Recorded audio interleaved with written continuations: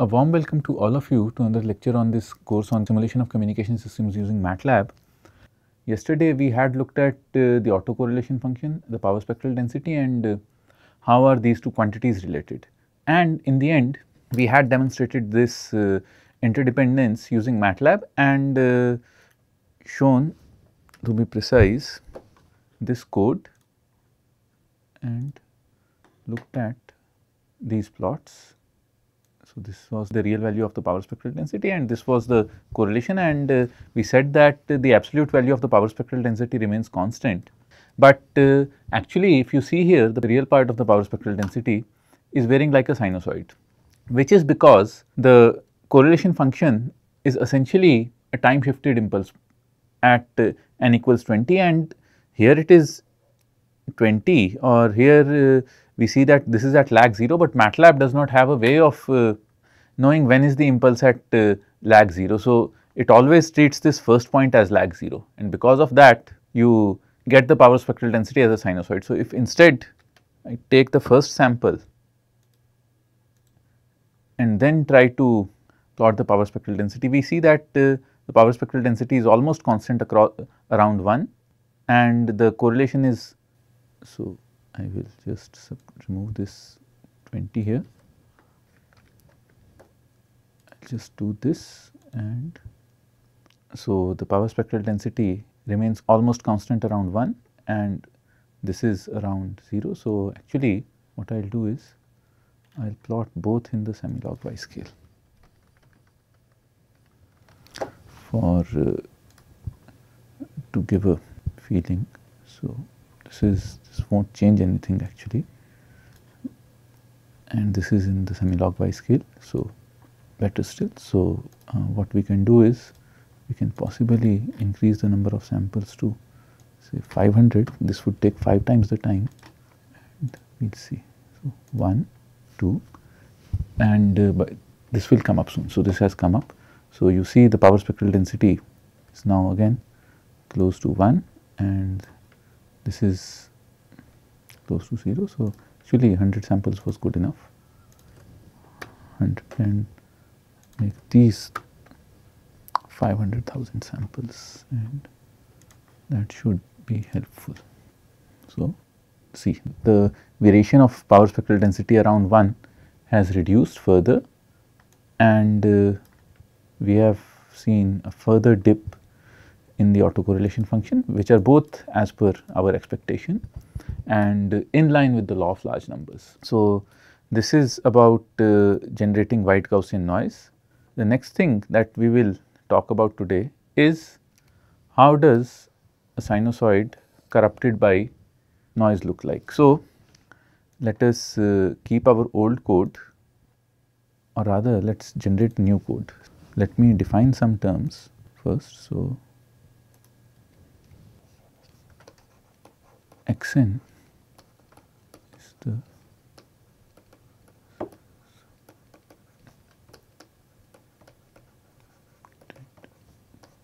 by noise. Root over gamma j 2 pi f by fs n is the nth sample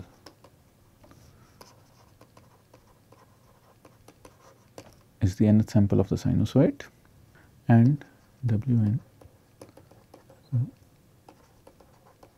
We can write it as so Wn root has variance 1 and power or the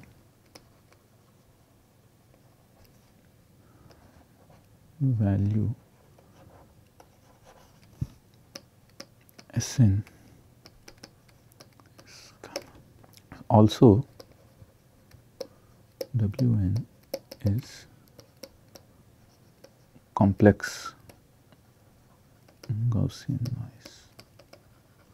Wn is complex Gaussian noise. So, let us look at all of this.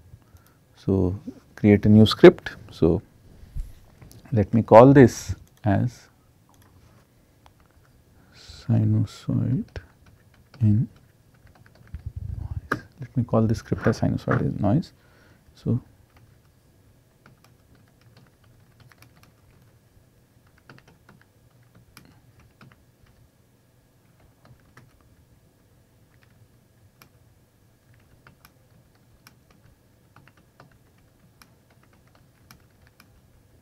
we will add complex noise to it and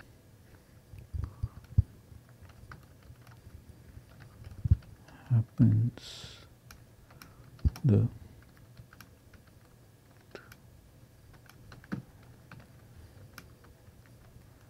we will look at what happens to the real part and the imaginary part fine. So, let us generate first generate a sin complex sinusoid n equals 1000 is equals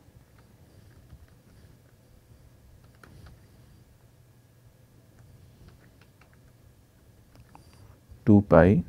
So, let me say f equals 100 and fs equals or 128 1024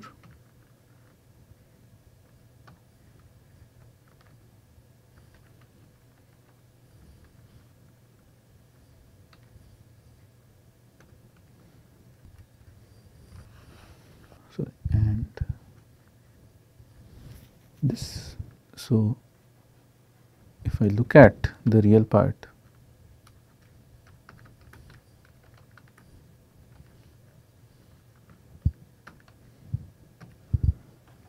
this is the real part of S which is a sinusoid. I can uh, reduce the frequency to say 32 and it will be slightly easier to look at still too big maybe 8 would be good enough. So, this, these are 8 cycles within 1024 samples. This is the real part and I can similarly plot the imaginary part and this gives me the imaginary part as expected. So, this is fine. Now, let us generate. So, let me see the variance of S is close to 1 actually this is very close to 1 and say I put gamma equals 10 and I multiply this with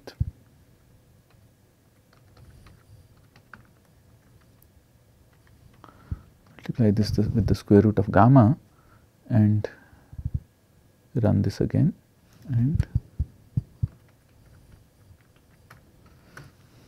and the variance becomes naturally becomes 10 times. So, the variance or the mean squared value of uh, S is 10. So, now let us generate complex noise. So, W equals randn. So, yes this can be cured.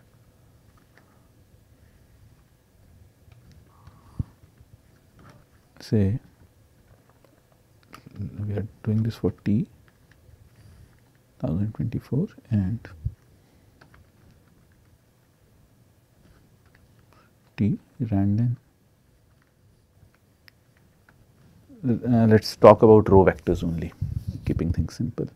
So, this so this W we know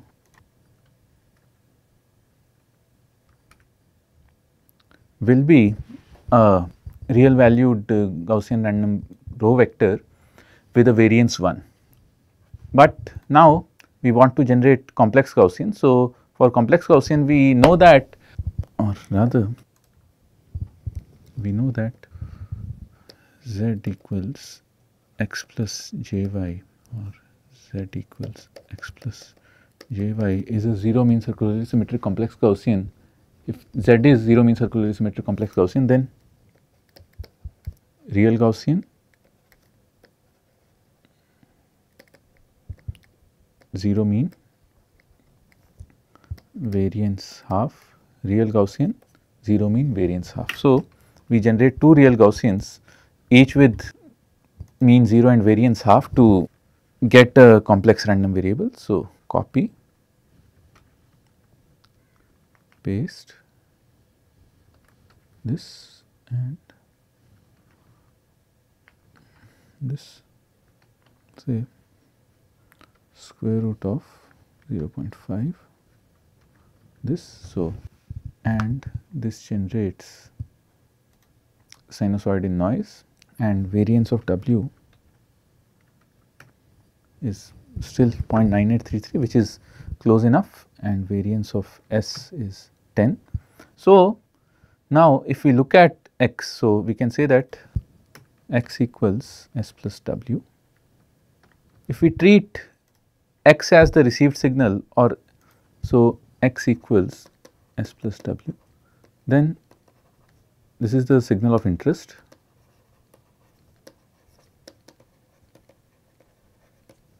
this is noise and variance of S divided by variance of W which incidentally will be equal to gamma is the signal to noise ratio is the signal to noise ratio. So, this is the signal to noise ratio. So, with this let us uh, try to see what we have. So, basically plot real We will plot the real value of x and see what do we have.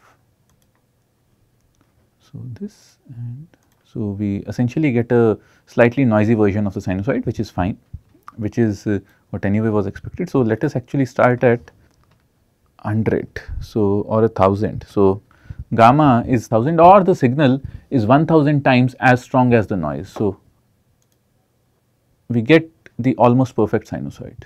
So, let me take this and actually let me keep this here.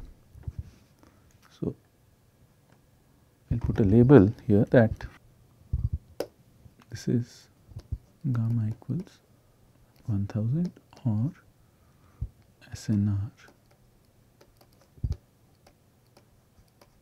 30 decibels gamma equals 1000 or SNR equals 30 decibels fine. Then next thing we do is gamma equals 100 or SNR equals 20 decibels and I plot this again. I get a slightly noisier version, copy this and I paste it in PowerPoint. This is gamma equals 100 or 20 dB SNR. So far so good. Gamma equals 10 or 10 dB SNR. This is naturally much worse as compared to 20 dB, but still we can see a sinusoid. So, this is at 10 dB, 10 and naturally gamma equals 0. I will add a new slide, gamma equals 1, gamma equals 0 will not work. So, gamma equals 1 or 0 dB. So, here gamma equals 1 or dB. The signal power or the signal is as strong as the noise. We still see a sinusoid, sorry this is the previous one, this is the right one, copy and I paste it over here. So, now we will look at the case where signal is stronger than the noise or where the noise is stronger than the signal gamma equals 0.1. When I see a gamma equals 0.1 what, what I get is the noise is 10 times as strong as the signal or as you can see here the noise is totally overwhelming the signal. So, we cannot see the signal at all completely overwhelmed and I will copy this image and paste it here just for reference. So, I paste it here for reference that uh, this is gamma sorry this is gamma equals 0.1 or minus 10 dB, minus 10 dB SNR. So, now what do we do? Uh, uh, we are in trouble? Yes, we are in trouble but uh, we can still be saved. How is that? Let us go back and look at this expression. So, now let us try to find the autocorrelation function. So,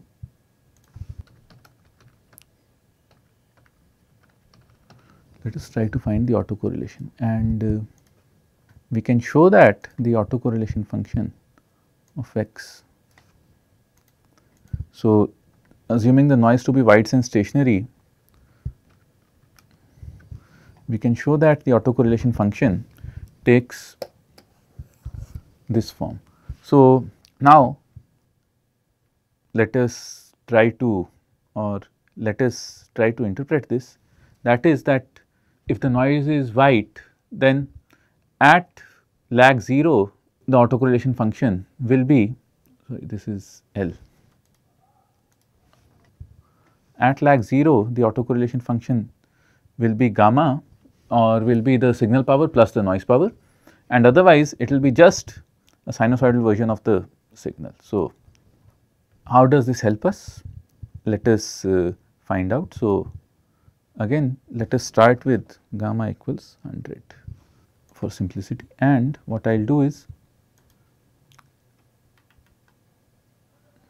I will use my code from here and copy my code from here and I will paste it here. So, I do this for I will do this for say 1000 iterations would be good enough. T is different, S W can be. So, S and W are taken from here and what I do is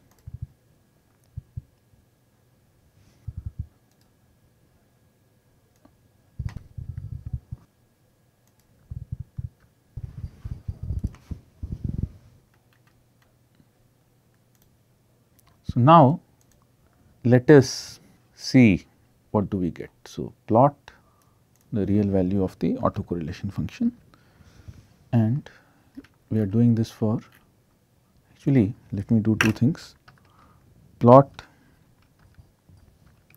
x and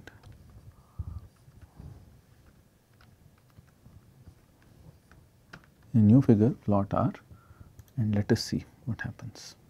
So,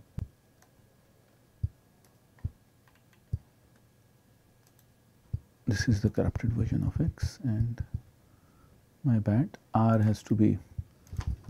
This is because of a bad. This should be 1 so r was initialized wrong and now it will should be fine. Yes.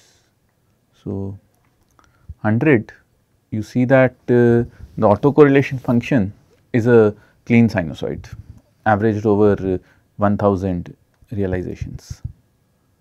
Again you say that uh, this is okay, but uh, what if the signal to noise ratio drops? What if I work at uh, 10 dB SNR? In that case as well you see that the autocorrelation function at is slightly larger at here, but uh, this is the autocorrelation function as a function of the lag for a 10 dB SNR. So, we get a this averaging is cleaning out the sinusoid by a large extent and say 0 dB. We run this again and now we have started seeing some effects of the noise, but uh, nothing pronounced. And even at minus 10 dB that is when the noise is 10 times stronger than the signal,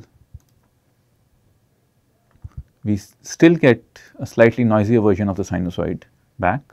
And to get rid of this noise what we do is we simply average over a larger number of instants. So, we average over a larger number of instants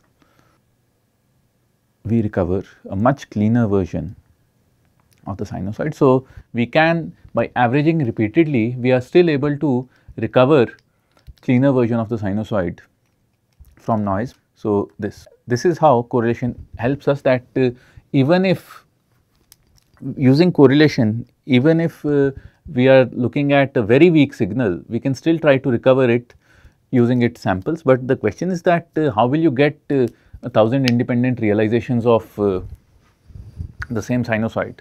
The answer is that uh, we do not need that, we do not need a thousand independent realizations, we can use ergodicity, break the take a lo longer sample length of the signal or of the received signal, break, break it down into windows and uh, try to at least recover the base carrier frequency that exists within that sample and uh, that gives us a fair enough idea of the frequency that the signal is working at. This is one idea that is used in synchronization in communication systems quite extensively. So, the key idea over here is that uh, averaging helps us even when the noise is stronger than the signal. So, for the rest of this course we will instead use the inbuilt correlation function. So, I will just quickly demonstrate that. So,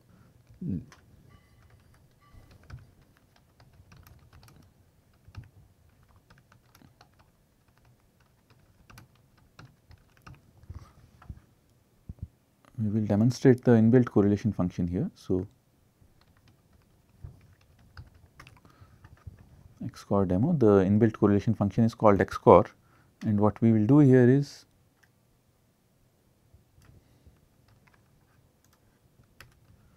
this and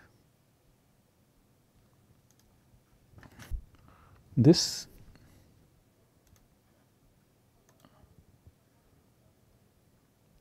and so we generate so let us say instead of 2 to the power 10 let us say 2 to the power 20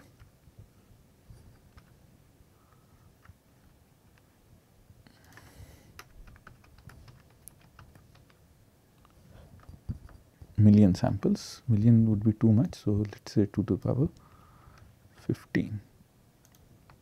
So, 32,000 samples, close to 32,000 samples. So, and we get this obviously gamma is 0.1, but uh, at gamma equals 1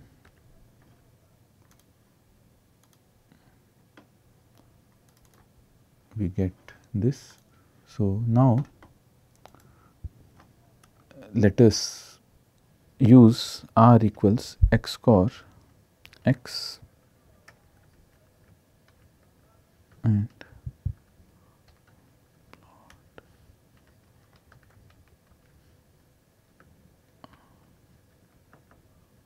plot the real value of R.